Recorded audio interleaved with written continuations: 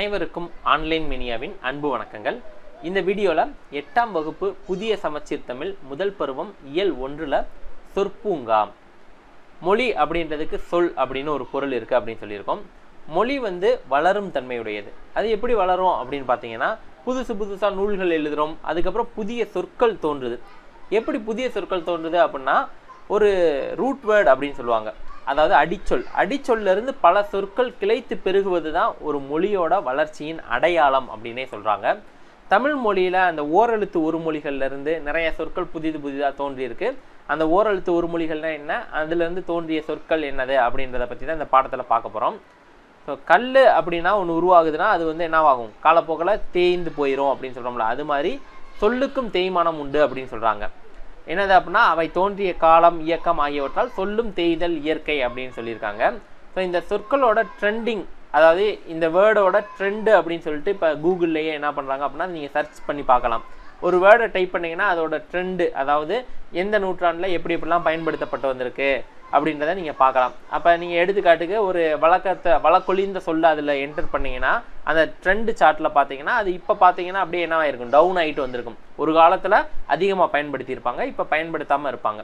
So அந்த மாதிரி நிறைய மொழிகள் வந்து உலகத்தில் இருக்குது நிறைய இது ஏட்டளவில் இருக்குது ஆனால் தமிழ் மொழி என்ன சொல்கிறோம் அப்படின்னா இன்றைக்கும் நம்ம பயன்படுத்திக்கிட்டு இருக்கோம். தமிழ் அதனால தான் செந்தமிழ் செழுந்தமிழ் அப்படின்னு சொல்கிறோம் அது வந்து உயிரோட்ட தமிழாகவும் இருக்குது அப்படின்னு சொல்கிறாங்க தமிழில் சொல் என்பதற்கு நெல் என்பது ஒரு பொருள் அப்படின்னு சொல்கிறாங்க சொன்றி சோறு இதெல்லாம் வந்து அந்த வழியில் வந்தது தான் நெல்லில் பதர் இருக்கும். ஆனால் சொல்லில் பதர் இருக்கக்கூடாது அப்படின்னு சொல்கிறாங்க எல்லா சொல்லும் பொல் பொருள் குறித்தனவே அப்படின்றது யாரோட மொழி அப்படின்னா தொல்காப்பியர் மொழி. தொல்காப்பியர் என்ன சொல்கிறாரு எல்லா சொல்லும் பொல் பொருள் குறித்தனவே அப்படின்னு சொல்லியிருக்காரு.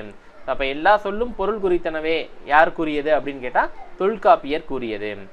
மொழி அப்படின்றதுக்கு சொல் அப்படின்னு ஒரு பொருள் இருக்குன்னு சொல்லி பாடம் ஸ்டார்டிங்லேயே பார்த்தோம். அப்போ மொழியை வந்து ஓரெழுத்து ஒரு மொழி ஈரெழுத்து மொழி இரண்டுக்கு மேற்பட்ட எழுத்துக்கள் உடைய மொழி அப்படின்னு சொல்லி மூன்று வகையாக பிரிக்கலாம்.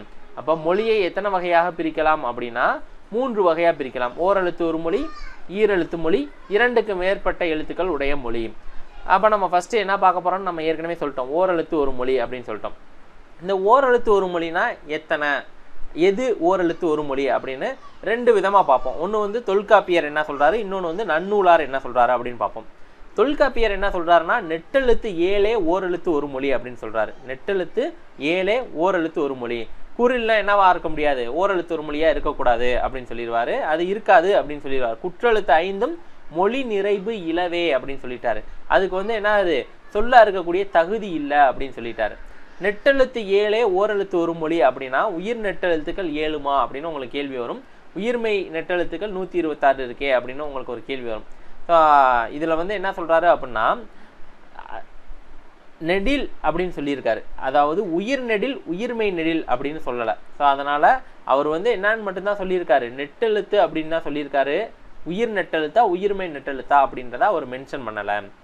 தமிழில் சொல்லின் முதலில் ஒரு சில எழுத்துக்கள் வரும் இடையில் சில எழுத்துக்கள் வரும் இறுதியில் சில எழுத்துக்கள் வரும்.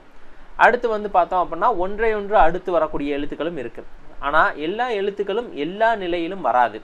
சில எழுத்துக்கள் வந்து என்னது அப்படின்னா நம்ம அந்த படிக்கிற வாய்ப்பாடில் மட்டும்தான் இருக்கும் நம்ம பயன்படுத்தி இருக்கவே மாட்டோம். அதே மாதிரி தான் சொல்கிறாங்க நெட்டெழுத்துக்களில் சொல் அப்படின்ற நிலையை அடையாத சொற்களும் இருக்குது அப்படின்னு சொல்கிறாங்க அடுத்து வந்து நன்னூலார் என்ன சொல்கிறாரு அப்படின்னா நாற்பத்தி ரெண்டு இருக்குது எது? ஓரெழுத்து ஒரு மொழி வந்து நாற்பத்தி ரெண்டு இருக்குது அப்படின்னு சொல்கிறாரு அது என்ன அப்படின்னு லிஸ்ட் பண்ணுறாங்க உயிர் வரிசையில் ஆறு.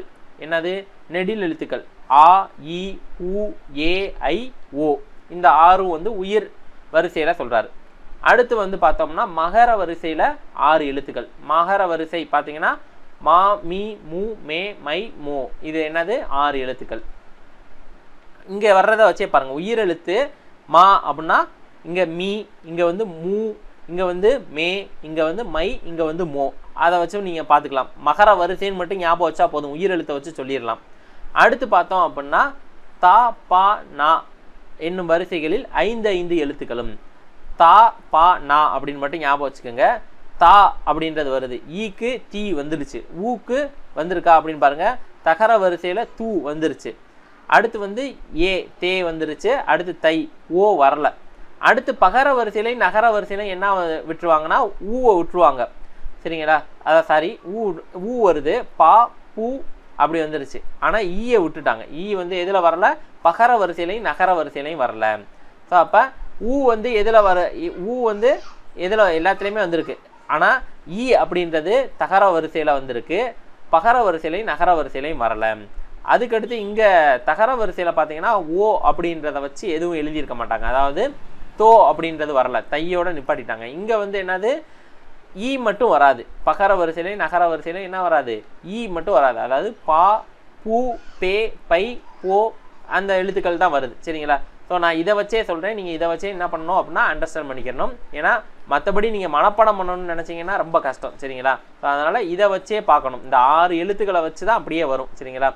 இப்போ ஆறு தாளை எது வராதுன்னு மட்டும் ஞாபகம் வச்சுக்கணும். தாளை எது வராது? தோ ஓ மட்டும் வராது. பா நாக்கு எது வராது? ஈ வராது. பா நாக்கு என்ன வராது? ஈ வராது.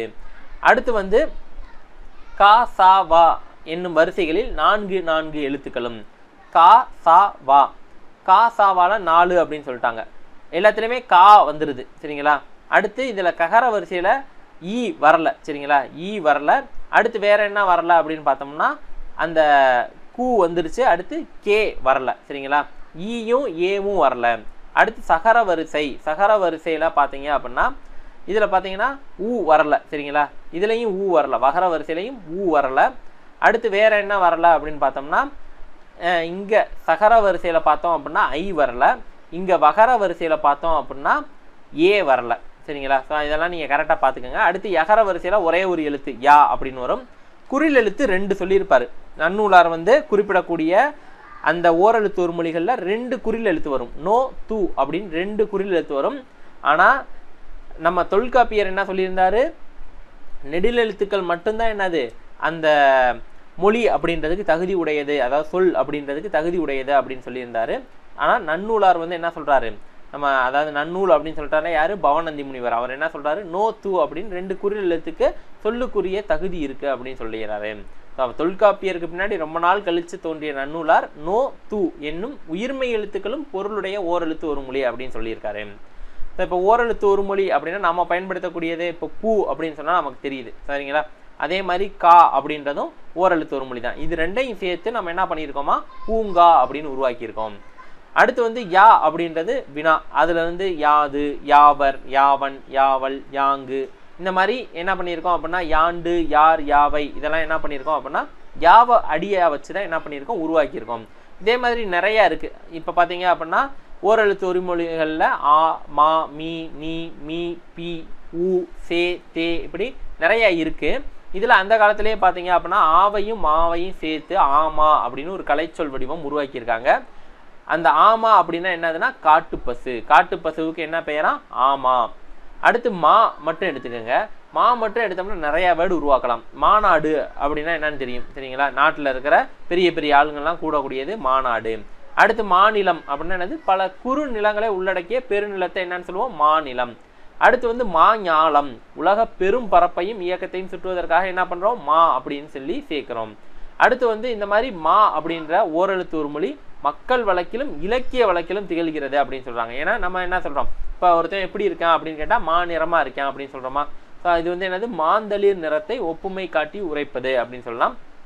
அடுத்து வந்து மா அப்படின்றது விலங்கையும் குறிக்கும் அப்படின்னு சொல்கிறாங்க அரிமா பரிமா நரிமா வரிமா கரிமா இதெல்லாம் என்னது? விலங்கின பெயராக நிற்கிது அப்படின்னு சொல்கிறாங்க ஸோ அது வந்து நம்ம இந்த இந்திரன் படத்தில் கூட பாடலில் வரும். அரிமா அரிமா அப்படின்னு சொல்லிட்டு. ஸோ அப்போ அது வந்து என்னது? ஒரு விலங்கின பெயர் அப்படின்றத உங்களுக்கு தெரியணும். அடுத்து ஈ அப்படின்ற எழுத்து உங்களுக்கு தெரியும். ஈ அப்படின்னா என்னது? ஒரு ஒலி குறிப்பு. அதாவது ஓயாது ஒலி எழுப்பக்கூடியதை என்னது? ஈ அப்படின்னு சொல்லுவோம். அது மாட்டு ஈ தேன் ஈ அப்படின்னு சொல்லி என்ன பண்ணுறோம் அப்படின்னா ஈக்கு டிஃப்ரெண்ட் டைப் ஆஃப் பேர் வைக்கிறோம். ஈ அப்படின்னு சொல்லிட்டோம்னா அது வெளிப்படையாக நமக்கு என்ன பொருள் தரும்? ஈக அப்படின்ற பொருளை வெளிப்படுத்தும்.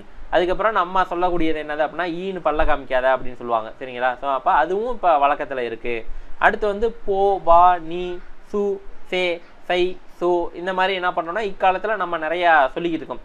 இதெல்லாம் நன்னூலார் சொன்னதா அப்படின்னு பார்த்தீங்கன்னா நன்னூலார் சொன்னதும் இருக்குது நன்னூலார் சொல்லாததும் என்ன இருக்குது இருக்குது அப்படின்றது நமக்கு இதன் மூலமாக தெரியுது. அதுக்கடுத்து பார்த்தோம் அப்படின்னா இன்னொரு வகையாகவும் பார்க்கலாம் அப்படின்னு சொல்கிறாங்க அதாவது ஆண் என்பது ஆ ஆகியது மான் என்பது மா ஆகியது கோன் என்பது கோ ஆகியது தேன் என்பது தே ஆகியது பேய் என்பது பே ஆகியது. இதெல்லாம் என்னது அப்படின்னா கால வெள்ளத்தில் கரைந்து தேய்ந்தவை. அந்த இன்னுன்ற எழுத்து இங்கே ஈ அப்படின்ற எழுத்து எல்லாமே என்ன பண்ணிருச்சு? காணாமல் போயிட்டு ஒரு எழுத்தாக மாறிடுச்சு இப்போ எட்டத்தில் போறவன என்னன்னு சொல்லுவோம்? ஏய் அப்படின்னு சொல்லுவோமா? இந்த ஏய் என்பது என்னோடு கூடு பொருந்து சேர் என்னும் பொருள்களை உடையது. ஏய் அப்படின்றது என்னவாயிருச்சுன்னா காலவெள்ளத்தில் ஏ அப்படின்னு வழக்கத்தில் மாறிடுச்சு இப்போ அம்பை ஏவு அப்படின்னு சொல்கிறோம் சரிங்களா? ஏவுதல்னா என்னது? அம்பு விடுதல். ஏவும் அம்பு தான் என்னதுன்னா ஏ அப்படின்னு மாறிடுச்சு அம்பு விரைந்து செல்வது போல நம்ம சொல்ற வேலையை வேகமாக செய்கிறவனா என்னன்னு சொல்லுவாங்க அப்படின்னா ஏவலன் அப்படின்னு சொல்லுவாங்க. அம்பு விடக்கூடிய கலை உங்களுக்கு தெரியும். என்னது? ஏகலை அப்படின்னு சொல்லுவாங்க. அதில் சிறந்து விளங்கக்கூடியவனா என்னன்னு சொல்லுவாங்க. ஏகலைவன் அப்படின்னு சொல்லி சொல்லுவாங்க. ஏவு அப்படின்ற சொல்லு ஏ அப்படின்னு மட்டும்தான் மாறி இருக்கான்னு பார்த்தீங்கன்னா எய் அப்படின்றது மாதிரியும் மாறி இருக்கு ஏன்னா ஏவுகின்ற அம்ப மாதிரி கூர் முல்லை உடைய முள்ளம்பன்றியை என்னன்னு சொல்றாங்க அப்படின்னா எய்ப்பன்றி அப்படின்னு சொல்றாங்க. ஏன்னா அந்த அம்பு கூர்மையாக இருக்கும்ல. அதே மாதிரி அந்த முள்ளம்பன்றிக்கு முள்ளு கூர்மையாக இருக்குமா? அதனால் அதுக்கு பேர் என்னது? எய்ப்பன்றி. அம்பை எய்பவரை என்னன்னு சொல்கிறாங்க எய்யினர் அப்படின்னு சொல்கிறாங்க அவங்களோட ஒய்ஃபை என்ன சொல்கிறாங்க அப்படின்னா எயினியர் அப்படின்னு சொல்கிறாங்க சங்க புலவர்கள்லையுமே இந்த அம்பை எய்பவர் அவங்களோட மகளிர்லாம் சங்க புலவராக இருந்திருக்காங்க. அவங்கள எயினனாரும் எயினியாரும் அப்படின்னு சொல்லி சொல்லியிருக்காங்க. எயினனார் அப்படின்னா யார்? சங்க புலவர்களில் என்ன பண்ணியிருக்காங்க? வேடர்களும் இருந்திருக்காங்க அப்படின்னு நம்ம தெரிஞ்சுக்கலாம். அடுத்து தமிழில் ஓரெழுத்து ஒரு மொழிக்கு என்ன இருக்குது நிறையா நிறைய நம்ம இப்போ பார்த்துருக்கோம். சரிங்களா? ஸோ புதுசாக நிறையா வந்துக்கிட்டு இருக்கு அப்படின்றதையும் நம்ம சொல்லியிருக்கோம். ஸோ மொழி பற்றுள்ள ஒருவனே மொழியை வளர்ப்பான் அதன் இனத்தை பண்பாட்டை காப்பான் அப்படின்னு கடைசியில் சொல்லியிருக்காங்க. இது எதுக்காக அப்படின்னா நமக்காக சொல்லியிருக்காங்க. ஸோ மொழிப்பற்று கண்டிப்பாக வேணும். அடுத்து நூல்வெளி. இந்த நூல் யார் எழுதுனது அப்படின்னு பார்த்தீங்கன்னா இரா இளங்குமரனார். இவர் வந்து என்னது அப்படின்னா ஒரு ஸ்கூல் டீச்சர் இவரை நம்ம என்ன சொல்லுவோம் அப்படின்னா செந்தமிழ் அந்தனர் அப்படின்னே சொல்லுவாங்க. இவர் வந்து நூலாசிரியர் இதழாசிரியர் உரையாசிரியர் தொகுப்பாசிரியர் இப்படி பன்முகத்திறன் பெற்றவர். இவர் எழுதிய நிறைய நூல்களில் குறிப்பிடத்தக்க சில நூல்கள் பாடத்தில் கொடுத்துருக்காங்க. இலக்கண வரலாறு தமிழிசை இயக்கம் தனித்தமிழ் இயக்கம் இப்படி பல நூல்களை எழுதியிருக்காரு. இலக்கண வரலாறு தமிழிசை இயக்கம் தனித்தமிழ் இயக்கம் இப்படி நிறைய நூல்கள் எழுதியிருக்காரு. அதுக்கப்புறம் பார்த்தோம் அப்படின்னா தேவநேயம் அப்படின்ற ஒரு நூலை தொகுத்திருக்காரு. இவர் திருச்சிக்கு அருகில உள்ள அல்லூர் அப்படின்ற ஊரில் திருவள்ளுவர் தவச்சாலையும் பாவனர் பாவாணர் நூலகமும் என்ன பண்ணியிருக்காரு அப்படின்னா அமைச்சிருக்காரு. திருச்சிக்கு அருகில் உள்ள அல்லூரில் திருவள்ளுவர் தவச்சாலை பாவாணர் நூலகமும் அமைச்சிருக்காரு. இவரோட தமிழின் தனிப்பெருஞ்சிறப்புகள் அப்படின்ற நூல்கள்ல இருந்து தான் நமக்கு பாடப்பகுதியில் என்ன பண்ணியிருக்காங்கன்னா கட்டுரையாக கொடுத்துருக்காங்க. நன்றி வணக்கம்.